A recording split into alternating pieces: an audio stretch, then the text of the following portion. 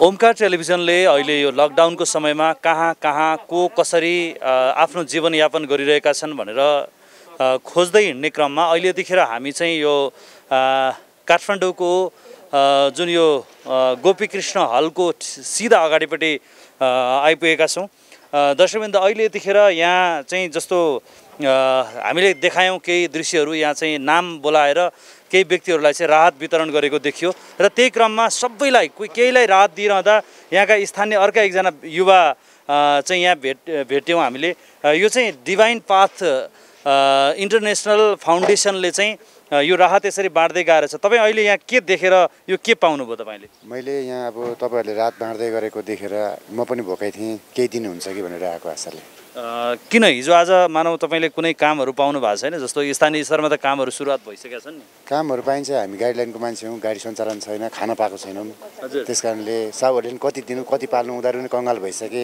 पाल्दा पाल्दा उहाँहरू पनि साइड लाग्नु भइसक्यो हामी त भोगोकै बसिरहेछौँ हेर्नुहोस्। अनि यो अहिले यति पाउनु भएको छ जे भए पनि अहिले जस्तो कि नाम टिपाउनु भयो तपाईँहरूले तपाईँको उहाँहरूले हजुर टिप्नुभयो। के भन्नुभएको छ? उहाँले फेरि आउँदाखेरि दिन्छु अहिले चिउरा खानुहोस् बिस्कुट खानुहोस् जस पेट त नमरोस् भोकै भन्नुभएको छ। त्यतिको त्यतिको लागि पनि मलाई धेरै आभारी छ। राहत छ हजुर हजुर एकदम। दर्शक यो डिभाइन पाथ इन्टरनेसनल फाउन्डेसन जुन संस्थाले चाहिँ विभिन्न क्षेत्र जो नेपालबाट विदेशमा पुगेका अनि विभिन्न क्षेत्रमा पुगिकन नेपाललाई सम्झने ती नेपाली मनहरूलाई चाहिँ उहाँहरूले सम्मान गर्दै यो चाहिँ जुन एउटा राहतको वितरण गर्ने काम उहाँहरूले गरिरहेको हामीले पायौँ। र यहाँ गोपीकृष्ण हल अगाडि आइपुग्दाखेरि हामीले चाहिँ यहाँ केही व्यक्तिहरूलाई चाहिँ उहाँहरूले नाम बोलाएर राहत वितरण गरेको हामीले देख्यौँ। यो डिभाइन पाथ इन्टरनेसनल फाउन्डेसनले चाहिँ के आधारमा अथवा कसरी यो राहतको काम गरिरहेको छ?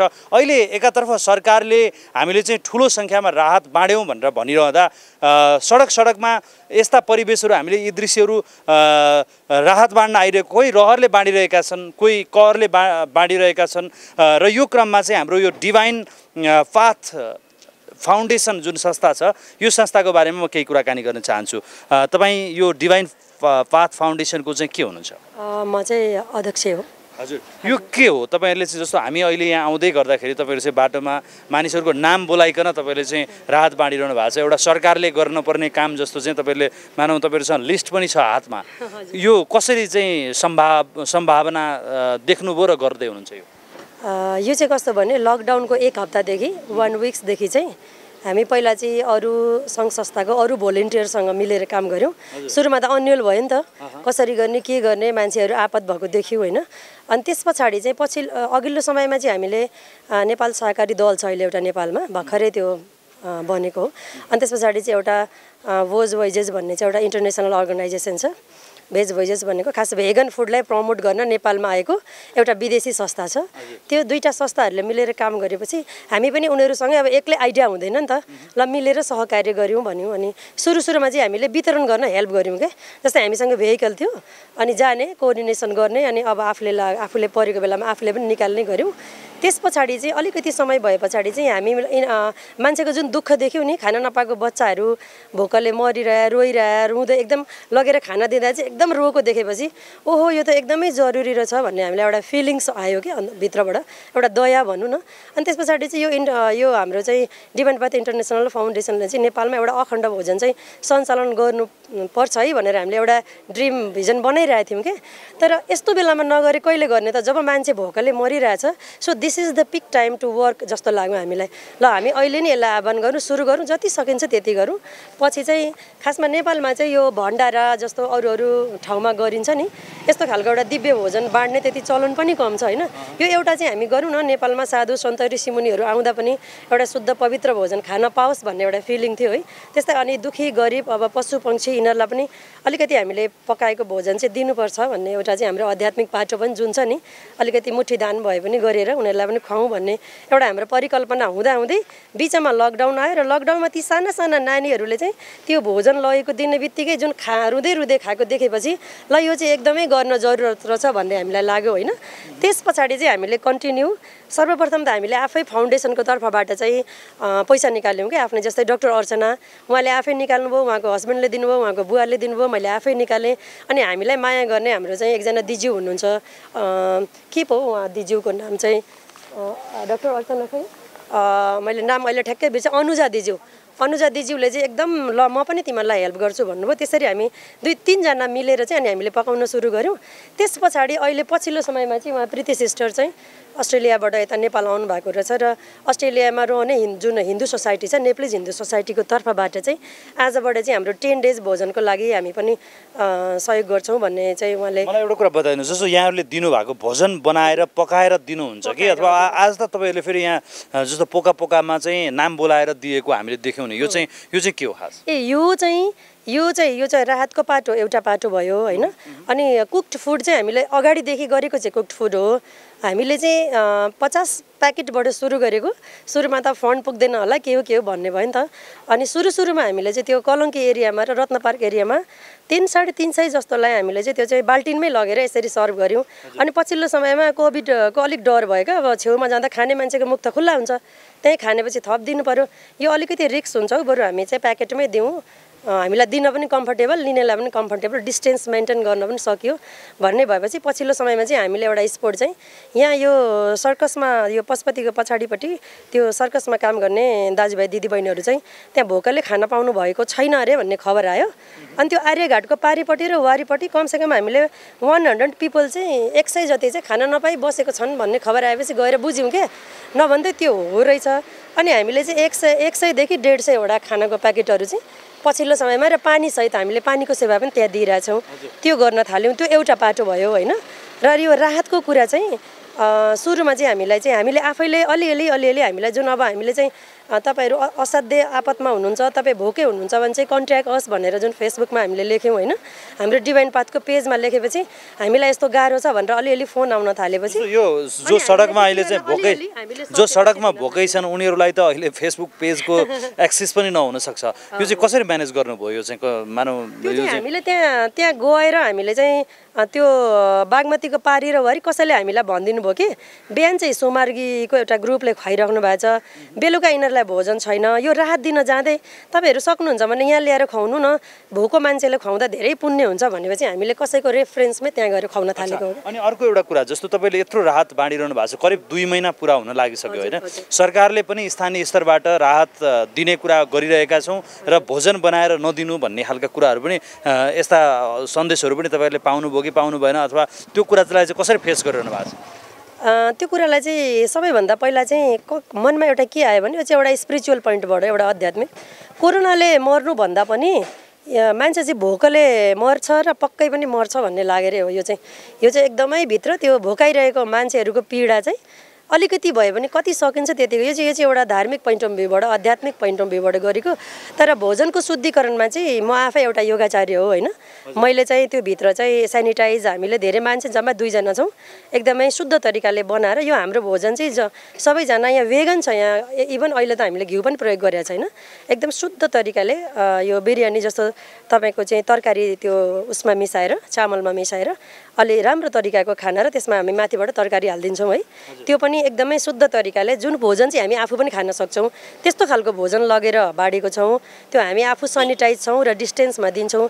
अब उहाँहरू कोही खाने मध्येलाई त्यो प्रकोप छ भने चाहिँ वी डोन्ट नो त्यो चाहिँ अब स्टिल समस्या छ तर हामीले गरेको कुरामा चाहिँ कुनै पनि त्यसमा चाहिँ डर चाहिँ के छ? यसमा तपाईँलाई चाहिँ यो डिभाइन पाथलाई चाहिँ सहयोग गर्ने संस्थाहरू चाहिँ कुन कुन संस्था हुन्? के हो? होइन अहिले त सस्ता संस्थाले कसैले पनि सहयोग गरेको छैन। हाम्रो राधे खड्का सर हुन्छ जो शाकाहारी पार्टीको व्यक्तिगत रूप व्यक्तिगत रूपमा उहाँले चाहिँ उहाँसँग हाम्रो हरेक कुरामा सहकार्य चाहिँ छ। सुरुको दिनमा उहाँसँगै हामीले काम गरेको हो होइन? पछिल्लो समयमा पनि उहाँले चाहिँ त्यस्तो पऱ्यो भने मलाई भन्नु भन्नुहुन्छ।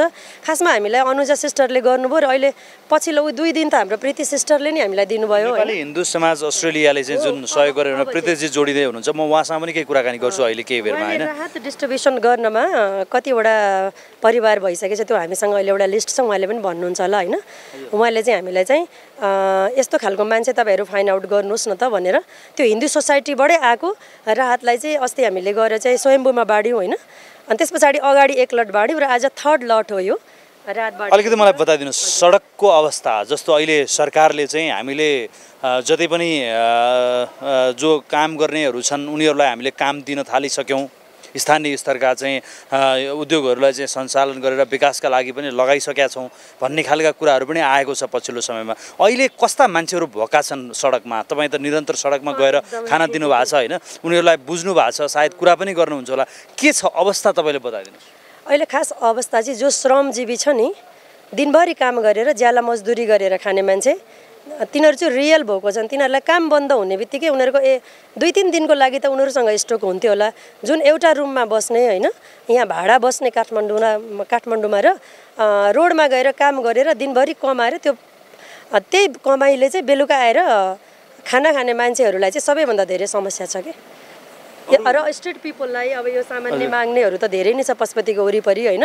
यतिकै त्यो छाप्रोमा बस्नेहरू पनि यहाँ धेरै हुनुहुँदो रहेछ पशुपति क्षेत्रमा तपाईँले यो खाना वितरण गर्दा केही समस्या? त्यहाँको प्रशासनले अनि त्यहाँको चाहिँ जुन त्यो व्यवस्थापन गरिरहेका टोलहरूले केही तपाईँलाई समस्या दिएको हो अथवा के हो तपाईँहरू अहिले यहाँ हुनु च्यालेन्जेस चाहिँ हामीलाई कस्तो छ भने सुरुमा पासकै च्यालेन्जेस भयो होइन? अब यो आपतकालीन भोजनलाई चाहिँ हन्ड्रेड नम्बरमा चाहिँ तपाईँहरूले फोन गरेर सेवा गर्न सक्नुहुन्छ भन्ने आयो हामीलाई त्यही हिसाबले हामीले गऱ्यौँ होइन? तर अब एकदमै धेरै चेकिङ तपाईँहरूले कसलाई सोधेर गर्नुभयो कसरी गर्नुभयो समन्वय गर्नुभयो कि भएन?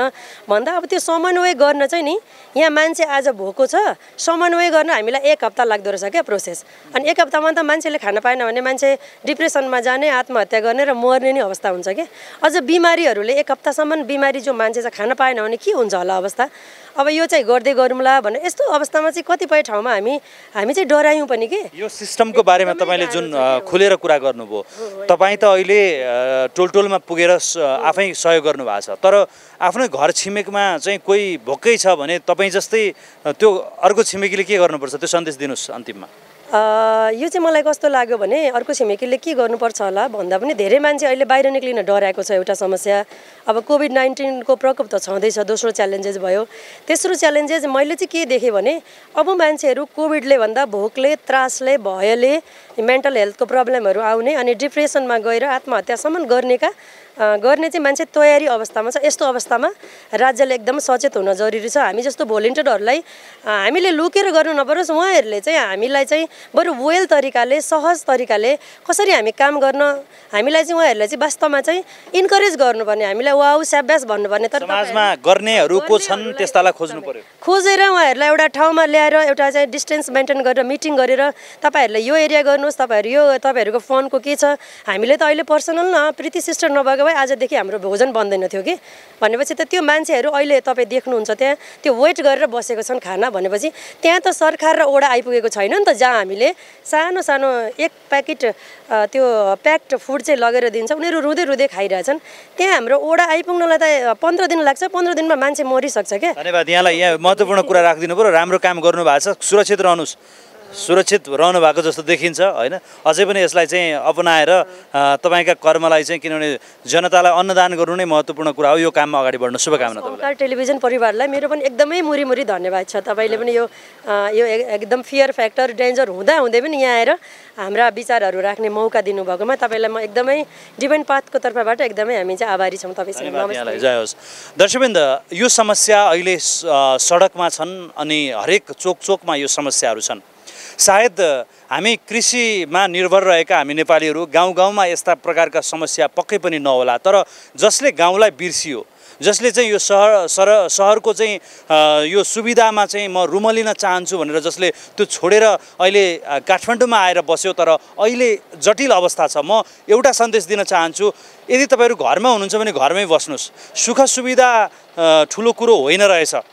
कुनै दिन त्यस्तो दिन पनि आउँदो रहेछ जुन दिन चाहिँ मलाई त्यो मेरा मैले त्यागेका ती घरहरू मैले त्यागेका ती बारीहरूमा कमसेकम मेरा पाइला टेक्न मात्रै पाए पनि मैले त्यहाँ उमारेका त्यहाँ मैले पानी मात्रै राख्दा पनि साग उम्रिन्थे होला तरकारी उम्रिन्थे होला त्यसलाई टिपेर म ग्रहण गर्थेँ र म बाँच्थेँ भनेर चाहिँ जो कल्पना अहिले गरिरहेको मैले देखिरहेको छु। र यो सडकमा यसरी चाहिँ जो सेवा दिइरहनु भएको छ हाम्रा जति पनि नगर प्रमुखहरू हुनुहुन्छ जनप्रतिनिधिज्यूहरू हुनुहुन्छ।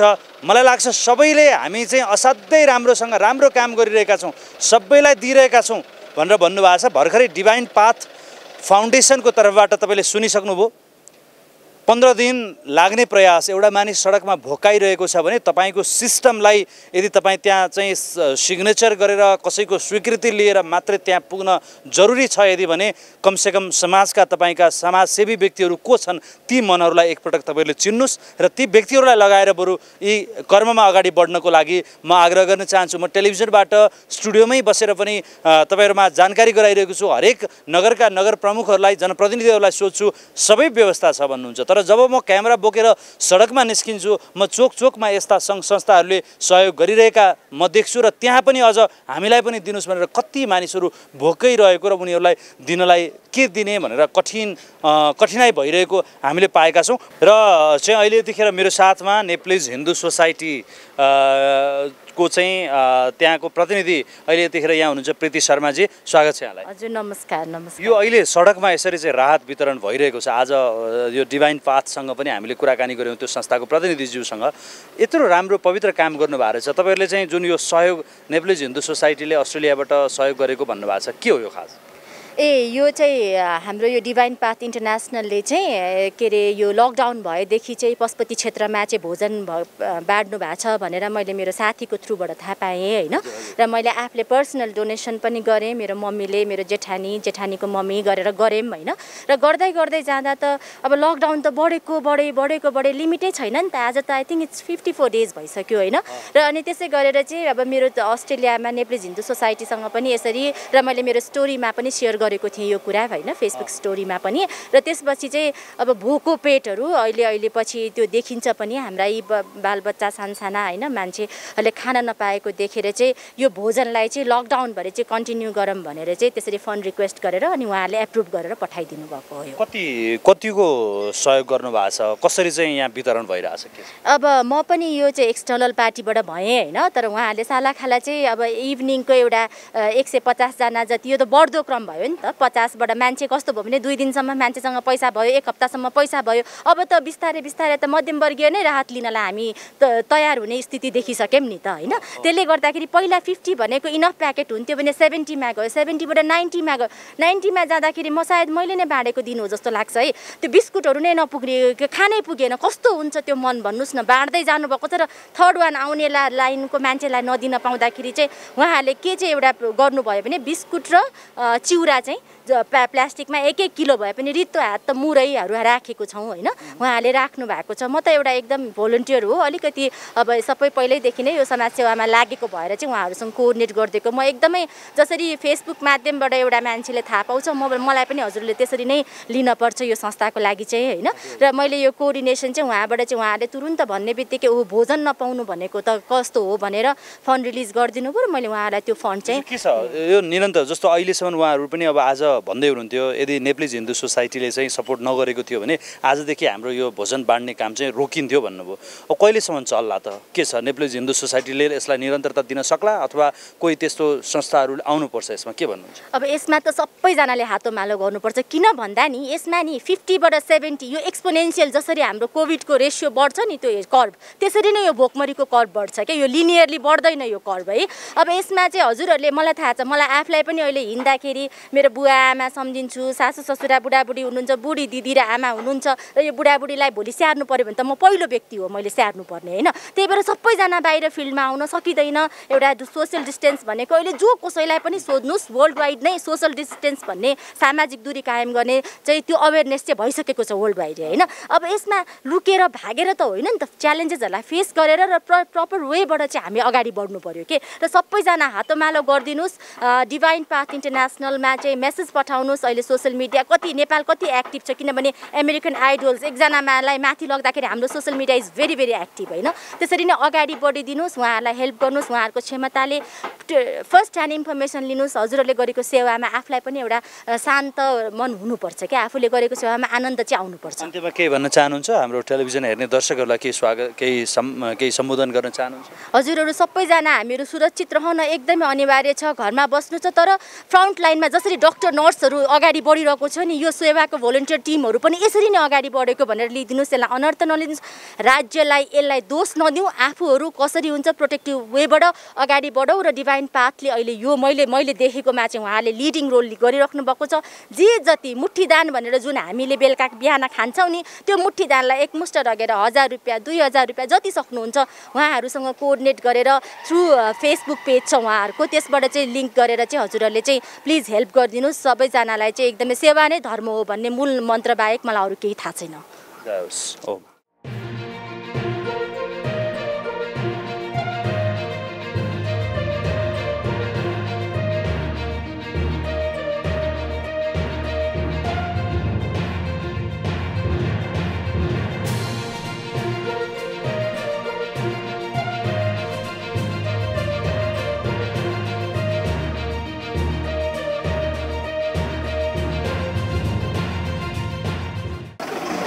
हजुर यहाँ सुन्ने कुरो गर्दिनँ। हामी सिमेन्ट लोडहरू काम गर्छौँ होइन? अब यो सबै बन्द कारणले गर्दाखेरि अब अहिले काम छैन हेर्नुहोस्। काम अब नभइसकेपछि के गर्ने हजुर अब? हामी चोरो जाउँ भएन। अब अरूसँग मागौँ त माग्छ अब ठुल्ठुलो साउजीहरूसँग अब माग्नु मन लाग्छ नि अब। ठुलो साउजीहरूलाई नि कसले त्यो जस्तो भएको छ। अब हामीलाई पनि अलिकति होस्। अलिकति हामी पनि खाउँ र अरूलाई पनि दिउँ नखाने मान्छेहरू कति अहिले तपाईँले दिनुभएको थियो जुन थियो।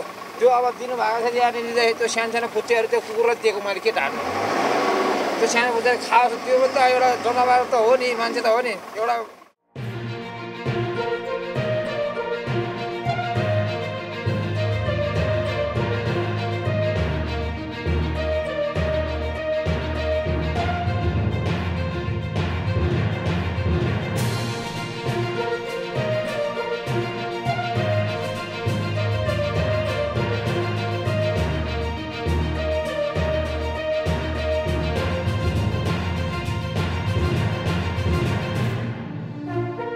आइपुग्दा जब उहाँहरू भोजन लिएर यहाँ आइपुग्नुहुन्छ जति पनि मानवहरू चाहिँ अहिले यो चाहिँ पशुपति क्षेत्रमा जो भोकै व्यक्तिहरू छन् उनीहरू भने यहाँ दौडा दौडी र यो आउँदै गर्दाखेरिको दृश्यलाई हामीले देख्यौँ र उहाँहरूले चाहिँ यहाँ यसरी टाढैबाट भोजनलाई चाहिँ यसरी चाहिँ दिनुपर्ने अवस्था सिर्जना गराएको छ यो कोरोना भाइरस र कोभिड नाइन्टिन रोगले गर्दाखेरि यो रोग चाहिँ नआओस् भनेर तैपनि हेर्नुहोस् यत्रो सङ्ख्यामा मानिसहरू अहिले यतिखेर सडकमा उनीहरू बस्नुपर्ने बाध्यता र यो चाहिँ पाशुपत क्षेत्रको क्षेत्रमा यस्तो प्रकारको दृश्य छ र जब जब यो भोजन लिएर यहाँ आइन्छ र यो भोजन लिएर चाहिँ जब यस क्षेत्रमा आइपुग्दाखेरि र यो यो क्रममा चाहिँ उहाँहरू पनि यसरी लाइनबद्ध हुनुहुन्छ र यो मैले केही अलिकति केही कुराकानी गर्ने चाहिँ प्रयास चाहिँ गर्दैछु मैले यो उहाँहरू चाहिँ केही बोल्नुहुन्छ? तपाईँ कहाँ यो यहाँ कहाँ बस्नुहुन्छ तपाईँ अहिले?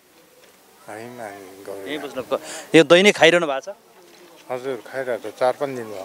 खाइरहनु भएको छ। अनि यो हामीले देख्यौँ यो पशुपति क्षेत्रमा रहेका व्यक्तिहरू र हामी अलिकति यस विषयमा कैयौँ मानिसहरू अहिले यतिखेर सडकमा चाहिँ भोक्कै बस्नुपर्ने परिवेश। जब यहाँ भोजन लिएर आइन्छ भोजनप्रति कतिको चाहिँ जो बाँच्नको लागि मानिसहरूले भोजनलाई कति कति तडपिरहेका छन् सडकमा भन्ने कुराहरू पनि अहिले यतिखेर हामी यहाँ देख्न सक्छौँ। यहाँ विभिन्न क्षेत्रका विभिन्न प्रकारका मान्छेहरू चाहिँ अहिले यहाँ देख्छौँ। जब चाहिँ यो भोजन लिएर यहाँ आएको देखिसके पश्चात हामी अगाडि देख्छौँ। जब यो अ, उहाँहरूको उपस्थिति हुने बित्तिकै अर्को एउटा हृदय विदारक दृश्य त मैले यो जब यहाँ मानवहरू यसरी आइसक्दाखेरि बाँदरहरू पनि यसरी चाहिँ यो भोजन लिनलाई भनेर यसरी चाहिँ दौडेर सडकमा अहिले चाहिँ पशुपति यो मृगस्थली माथिबाट सडकमा तिलगङ्गातर्फ चाहिँ निस्किएको यो दृश्यले यहाँ चाहिँ एक प्रकारको यो चाहिँ एउटा हृदय विदारक दृश्यहरू चाहिँ हामीले यहाँ देखिरहेका छौँ र यसरी भोजन लिएर उहाँहरू चाहिँ आफू भोजन लिएर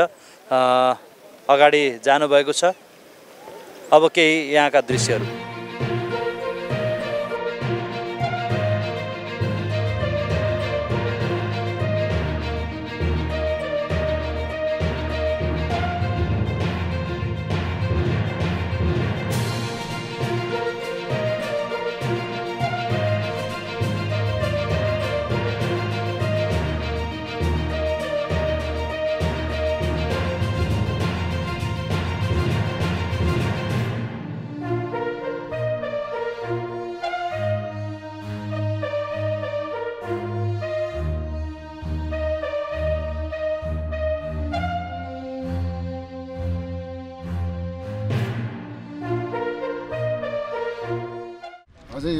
न घर जानु दिन्छ न के गर्छ अब गाउँ अब घर पूर्वतिर छ। न सरकारले काम दिन्छ न माम दिन्छ। हामीलाई यता हजुरले ल्याएको बाँडेको पनि उहाँ पुलिसले लखर्छ अनि हामी कहाँ गएर बाँध्ने? हामी कहाँ गएर मेरो उता पूर्व। कसरी अड्किनु भयो म यहाँ काम गर्दा ठेकदारले पनि पैसा दिएन। अहिलेसम्म दिएको छैन काम गरेको अल्झियो। अनि घरमा बालबच्चा कसरी खाइरहेको छ? बाल बाल बच्चा उही घरको अलिअलि खेती छ त्यही गरेर खाइरहेको छ। तपाईँ घर चाहिँ किन जानु भयो घर नजानु भयो म अब यहाँ काम थियो काम हुँदा हुँदा जान्दिनँ ठेकदारले पैसा रोकिदियो काम गर्दै जानै पाइएन त्यो लकडाउन हुन्छ भने थाहा पनि भएन पछि अनि लकडाउन भयो अहिले थप्दै गयो धर्दै गयो न खान पाएको छ न गरेछ कति साथीहरू सुतेको। सुत्नुहुन्छ बेलुका? उयो पार्टीतिर। कतिजना बस्नुहुन्छ त्यसरी? म हामी तिनजना अहिले उनीहरू आफ्नो आफ्नो ठाउँमा जान्छ। तपाईँहरूको केही चेक भएको छ? हजुर हाम्रो सबै चेक भइसक्यो। सबै। हामी हामी? बाहिर गएको पनि छैन काहीँ छैन काठमाडौँ छ हामी। होइन होइन स्वाबहरू यताउति चेक गर्न आउँछ। हामीलाई भइरहेको छ चेक चेक त हाम्रो भइरहेको छ त्यहाँ माथि खाना दिन्थ्यो होइन? त्यहाँ चेक गरेर हामीलाई दिन्थ्यो खाना। सबै राम्रै छ हाम्रो। सबै केही छैन हाम्रो। कतिजना सुत्नुहुन्छ? हामी तिनजना छ। वरिपरि? वरिपरि चाहिँ अब यतापट्टि त्यो उसमा हो पार्टीमा हो वरिपरि चाहिँ सुत्दैन। अरू त कता कता जान्छ साथीहरू? कोही कोठा होला कोही कोठामा जान्छ। घर जाने प्रयास गर्नु भएको छैन अहिलेसम्म? गरेको खोइ। अब हिँड्नुपर्छ कति। उहाँ लगाएर पनि किन उहाँले पनि टाइम राख्छ पन्ध्र दिन। जानु पायो भने सरकारले बाटो खोल्दै जानुहुन्थ्यो। त्यो ज्यामी काम गर्नुहुन्थ्यो? हजुर ज्यामी काम त्यो एउटा साथी उ त्यसो त्यसको हात पनि कति वर्षको हुनुभयो? हजुर। कति वर्षको हुनुभयो? पचपन्न। त्रिपन्न? पचपन्न। पचपन्न। कहाँ घर? हेटौँडा। के गर्न आउनु भएको थियो तपाईँ? म नि जेमी काम गर्छु। अनि कसरी अड्किनु भयो त यहाँ? ए घर जानु नपाएर यो बिखर्सी भयो बन्द भयो। अनि कोही खानेकुरा मिलिरहेको छ? खानुभन्दा पनि यहाँ पुलिसले लोहर छ खानेकुरा आउने बेलामा। अहिले भर्खर तपाईँ आउनुभन्दा दुई मिनट अगाडि यहाँ लहटेको। होइन यसरी त पखाउनु हुँदैन नि त हामी बसेको छैन। ठाउँ ठाउँमा बसेको छैन। हामी टाढा टाढा बसेको छौँ एकै मिटरमा बसेको छ हामी। तर अहिले पुलिसले देख्यो भने नि अहिले हामीलाई यहाँ लखट्छ दुई मिनटमै भएको छ यहाँ लखटेको अनि सुत्ने ठाउँ? सुत्ने त मैत्री देवी सुत्छ। मैत्री सुत्नुहुन्छ? केमा कहाँ मन्दिरमा?